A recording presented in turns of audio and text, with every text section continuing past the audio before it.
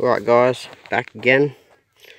And I've literally probably spent 20 minutes, half an hour.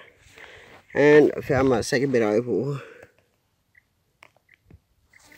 Let's pick her up.